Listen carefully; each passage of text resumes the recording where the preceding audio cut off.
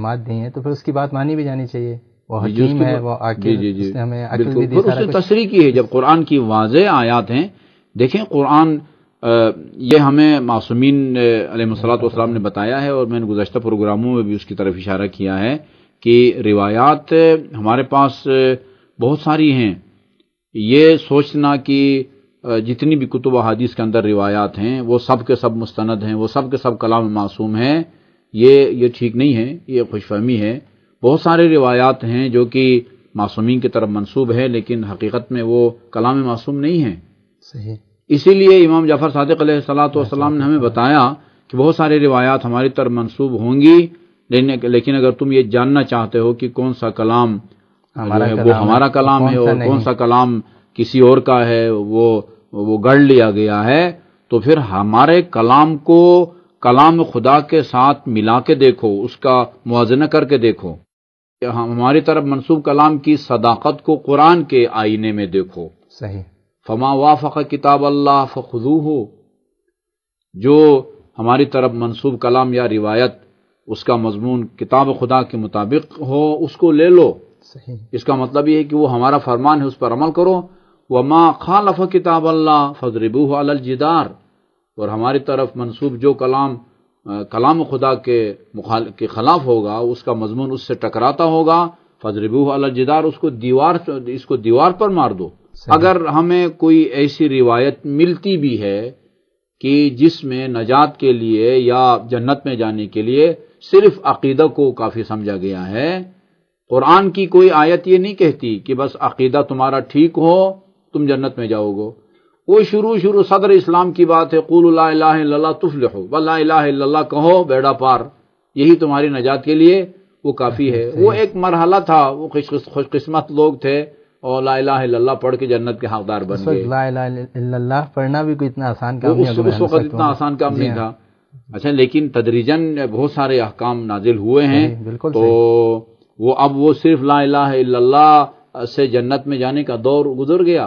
सिर्फ़ अकीदा काफ़ी नहीं है। कुरान कहता है जन्नत में अगर जाना चाहते हो तो ईमान भी तुम्हारा होना चाहिए और अमल साले भी होने चाहिए। अब अगर कोई रिवायत आके ये कहे कि जन्नत में जाने के लिए सिर्फ- अकीदा काफ़ी है इसका मतलब ये है कि ये इस रिवायत का मजमून कुरान की इस आयत से वो वो टकराता है। अगर इसे इसी तरह से लें फ़र्ज़ करें इसकी हम इसी तरह से ले लें। लें हाँ उसकी फिर हाँ तो ये इसमें अर्ज़ करने लगा हूँ कि यानी अगर फ़र्ज़ कीजिए एक रिवायत है और सनत के अतबार से आपने तहकीक की हो कि नहीं ये मासूम का फरमान है लामो हाल आपको उसकी तोजीह करनी पड़ेगी।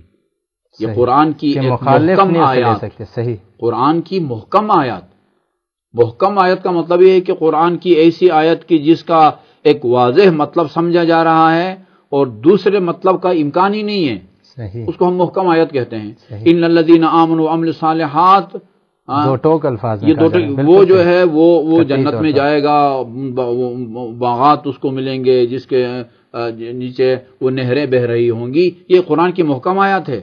कोई रिवायत उससे टकराती हो और वो फ़र्ज़ करें सनदन दुरुस्त हो तो उसकी तोजीह की जाएगी। और अगर सनत के अतबार से वो तसली बख्श न हो तो लामहाल उसको ठुकरा दिया जाएगा। कहा जाएगा कि ये कलाम मासूम नहीं है। नहीं नहीं हो सकता। इसलिए कि कलाम मासूम कुरान से मुखालिफ नहीं हो सकता, नहीं हो सकता। बिल्कुल सही। और मेरे ख्याल में अगर बाद ऐसी रिवायात की तरफ़ इशारा कर दिया जाए जिससे ये गलत फहमी या खुशफहमी होती है तो शायद वो मुनासिब फ़ायदा से खाली न हो। इमाम ज़फ़र सादिक सलाम से किसी ने पूछा कि फरजंद पैगंबर एक रिवायत आपकी तरफ़ मंसूब है मैं आपसे उसकी तस्दीक या तरदीद चाहूँगा।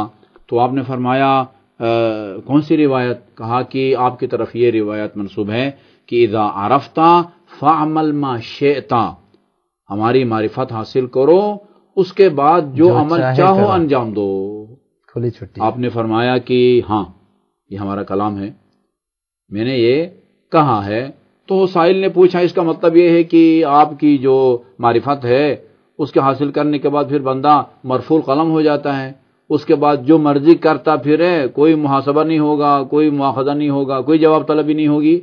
तो आपने फरमाया कि जो मेरे कलाम की ये तशरीह करता है या ये मतलब बयान करता है, वो जफा करता है मेरे ऊपर वो मुझसे ज्यादती करता है। मैं ये नहीं कहना चाहता कि हमारी मारिफत हासिल करो हमें अपना दीनी पेशवा तस्लीम करो हमें अपना इमाम बरहक तस्लीम करो उसके बाद जो मर्ज़ी करते फिरो तुमसे पूछा नहीं जाएगा। अर्ज़ किया फिर आप क्या कहना चाहते हैं? आपने फरमाया मेरे इस फरमान का मतलब यह है कि अगर तुम हमारी मारिफत हासिल कर लो और हमें नुमाइंदे इलाही के तौर पर हमारा हमें हजत खुदा मानो तो उसके बाद फामल माशेता का मतलब ये है कि फिर जो अमल भी तुम अंजाम दोगे वो अमल बारगाह इलाही में खुदा की बारगाह में कबूल होगा।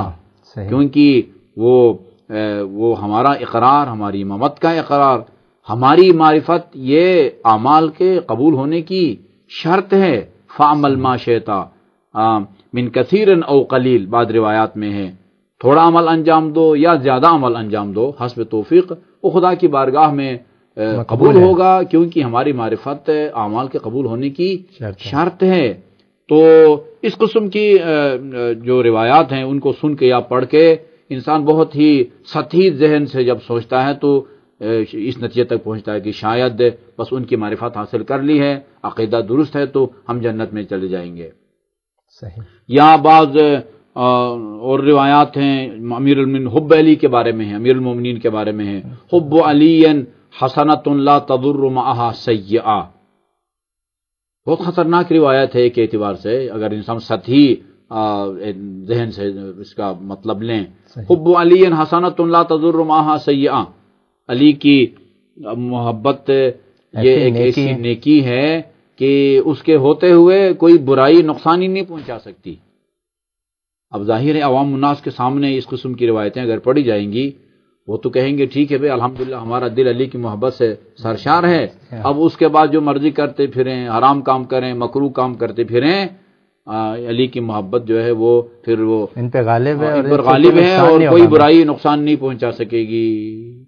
गोया ये सादा लोग अफराद जो हैं वो मैं अक्सर अर्ज़ करता रहता हूँ ये एनओसी जो है ना वो बना लिया है अइमा की मारिफत को आ, वो गुनाहों के लिए, के लिए जी बस ये है तो आ, हमें किसी और मासीत या गुनाह का खौफ नहीं होना चाहिए। नहीं ये ये रिवायत भी बुज़ुर्ग कराम जहाँ तक मेरी याददाश्त काम कर रही है अल्लामा बहबहानी उन्होंने इस दूसरे फरमान की तोजीह की है। सही।